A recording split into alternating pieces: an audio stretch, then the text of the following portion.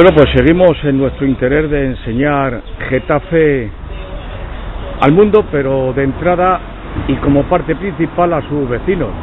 Esta es, eh, bueno, pues la calle La Magdalena y observen qué detalles, bueno, pues curiosos al menos.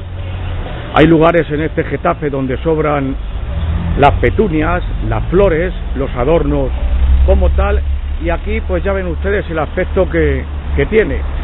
Ni una triste flor, algo que bueno que degrada lo que en sí es Getafe. Este es el aspecto que muestra esta zona de Getafe.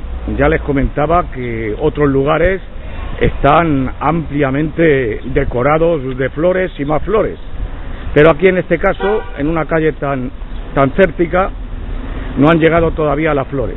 Y ahora vamos a pasar de una manera un poquito rápida para que observen para qué sirven los árboles en Getafe, aparte de para dar sombra, pues también para que sirvan de soporte con esas ataduras tan vistosas y originales, pues para eso sirve el árbol, para soportar estos cables.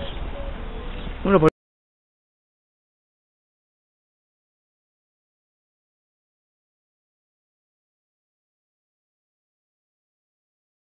Este es el Getafe de Pedro Castro y compañía, ese que da 3 millones de pesetas al Club de Fútbol Getafe y la gente parece que está encantada.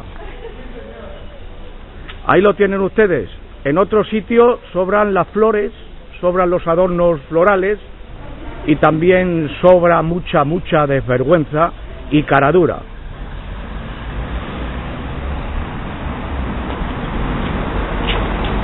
No vamos a intentar acercar un poquito más para que lo vean.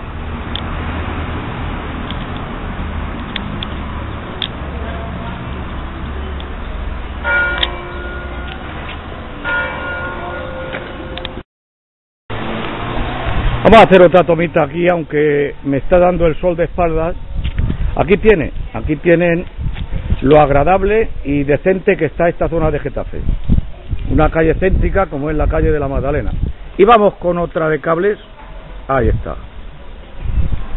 Bueno, no les vamos a cansar más porque tampoco hay necesidad de ello.